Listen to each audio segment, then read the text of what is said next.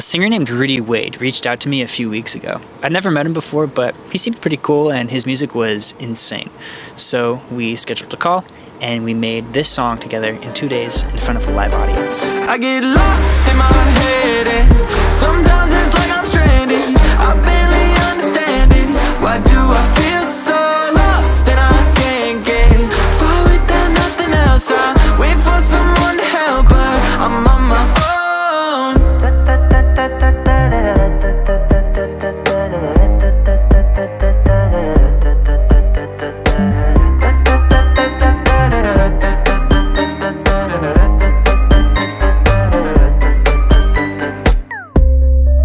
Like I'm just not home, like I got no soul behind my eyes.